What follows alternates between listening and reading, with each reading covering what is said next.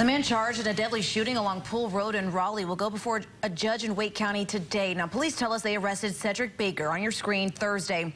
He's charged with murder and the death of Terrence Broyles back on June 27th.